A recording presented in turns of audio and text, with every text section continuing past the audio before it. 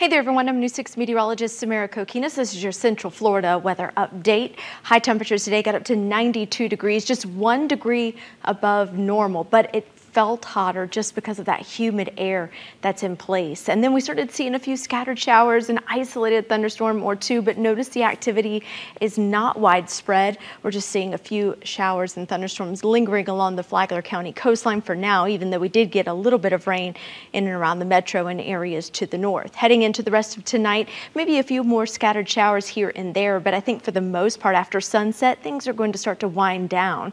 And then as we head into overnight, mainly clear skies It's going to be very mild and a little on the muggy side. Here's the setup, and as we take a look at what's working with us right now. We have this front that is headed our way. The thing about this front is it's going to stay to our north. So we're still going to see rain chances, but they're going to be very minimal just with a ridge of high pressure kind of building into our south. So that's going to kind of cap our rain chances for the next couple of days.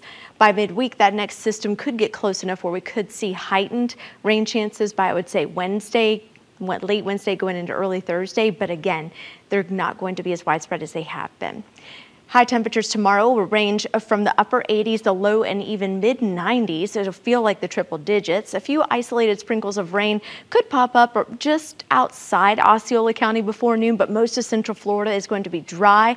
And it's not until the second half of the afternoon where we start to see these showers. Notice they stay south of Orlando, maybe skirting the southmost portion of Orlando and making their way to the east through about 6 o'clock tomorrow night.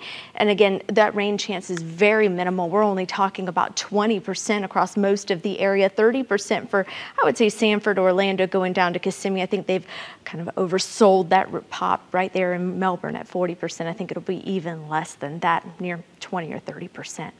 For tonight, mainly clear skies with lows near 74. Here's a look at tomorrow. Your daytime high temperature will rebound to 93. Again, your rain coverage between 20 and 30%. Now let's get you some results and show you your pinpoint accurate seven day forecast.